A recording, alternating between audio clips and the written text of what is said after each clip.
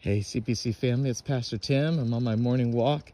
And thank you for joining us on this 40 days of prayer. And you know, you could be praying for our Mexico team that's building homes right now with our partners down in Mexico. What a great opportunity for us to live out our mission statement, connecting people to Christ through small acts of great love every day. You know, whether you're in Mexico or in Carmel or Seaside or Monterey, the Lord's Spirit lives within us and we get to live out our calling every day to point people to Jesus.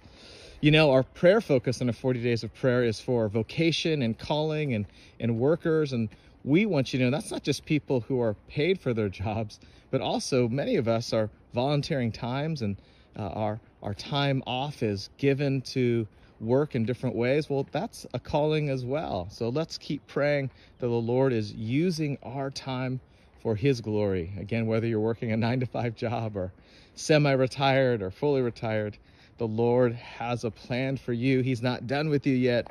Let's keep praying how the Lord wants us to be used to be a blessing to others.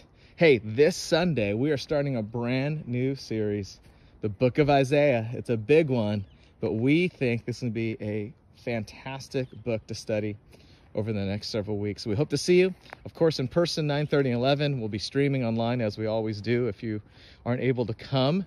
But we want to let you know we look forward to studying God's Word together, worshiping together, glorifying Him in all of our lives. Let us know if we can partner with you in some way. Email the church, give us a call.